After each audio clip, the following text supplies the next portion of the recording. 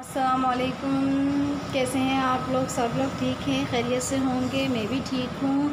आज मेरे किचन में बन रहा है अरबी गोश्त। आज मैं उसकी रेसिपी आपको बताती हूँ। मेरे अपने घर, मेरी ख़ुद की रेसिपी है और इन आप लोग को सबको बहुत पसंद आएगी।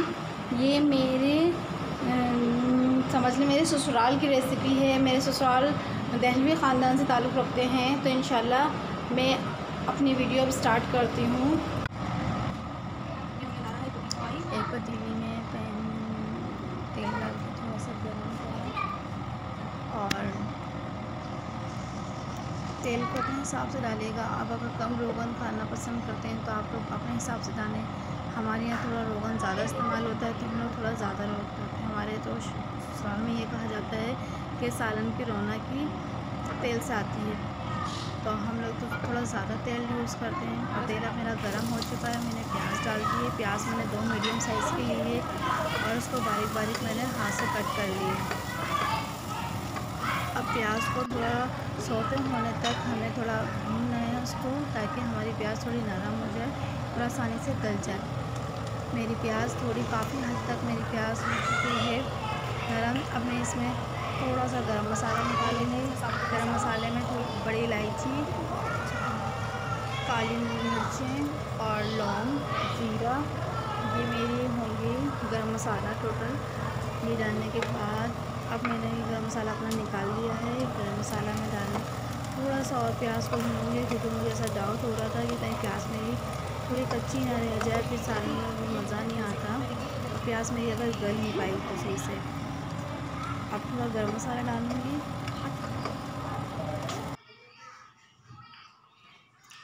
कैमरा मेरा बहुत हिल रहा है। फ़र्स्ट वीडियो है, थोड़े कंफ्यूज भी बहुत हो रही थी मैं।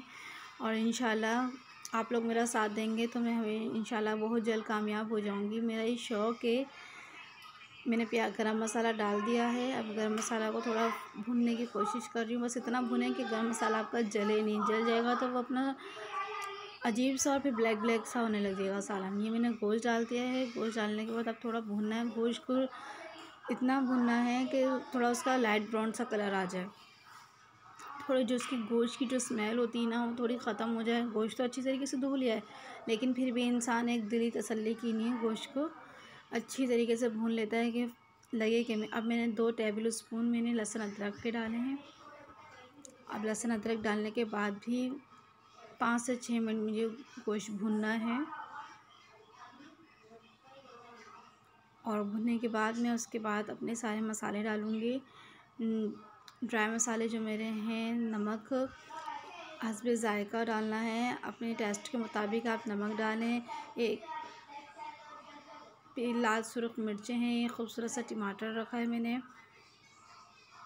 पिसा हुआ धनिया है, एक से डेढ़ चमचा। हल्दी डालूँगी, दो से तीन चमचे हल्दी डालेंगे, क्योंकि हल्दी हम लोग थोड़ी क्वांटिटी में ज़्यादा रखते हैं।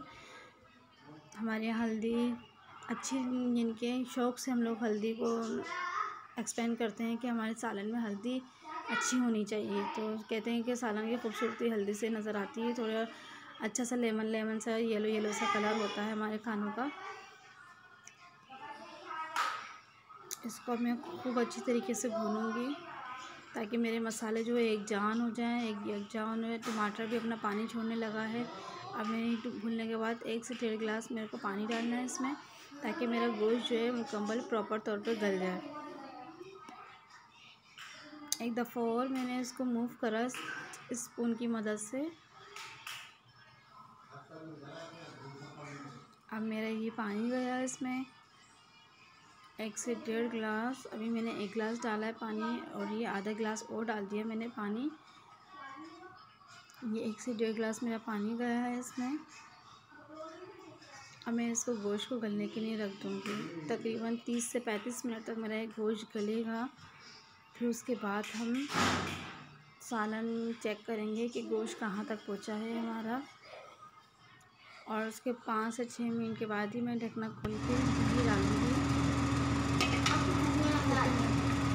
से भी एक सालन का टेस्ट आता है फ्लेवर होता है। और शुरू ग्रेवी वाले सालन में शुरू वाले सालन में तो दही लाजमी रहता है, क्योंकि उससे ही थोड़ा टेस्ट आता है। टमाटर से शुरू नहीं बन पाता टमाटर से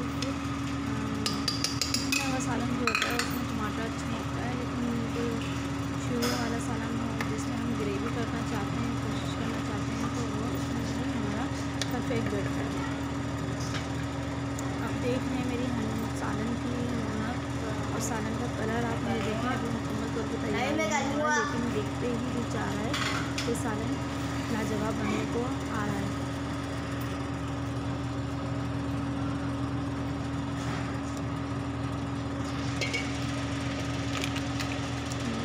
कर दिया है इतना सालन मेरा सालन अभी बीस से पच्चीस मिनट अपने के बाद फिर मैं कोशिश करूँगी इसके अंदर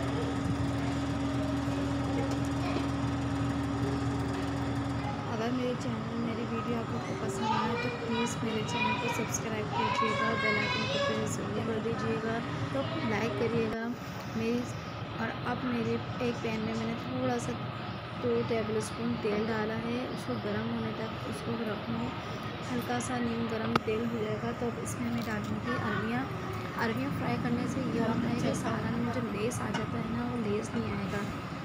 सबसे मेन पॉइंट इस सालन का यही है कि अरबियों को हमेशा आप फ्राई करके डालें और इतना फ्राई करें कि सब खुद का लेस उसमें जो पानी हम धोकर, लाजमत धोकर हम रखते हैं अरबियों को तो उनका पानी खुद खुश्क हो जाए।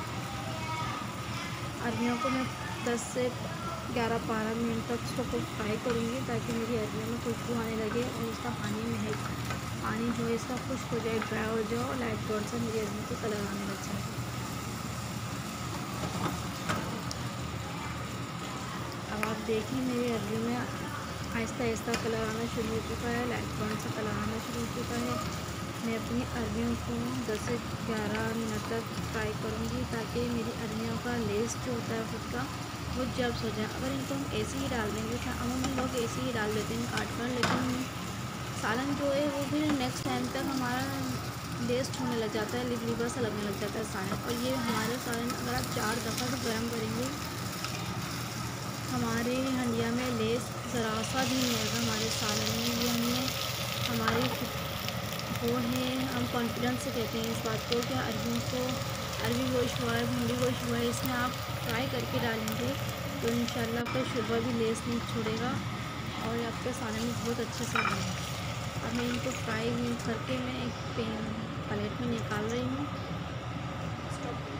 अब मेरा थोड़ा सा सालन मेरा भुनने पर आ चुका है, भून लिया। अब मैंने जो अरबियाँ फ्राई करके रखी थी, अपना सालन भून के शुरबा बनाकर अरबियाँ उसमें डाल दी हैं। अरबियाँ गलने तक पकाई मैंने।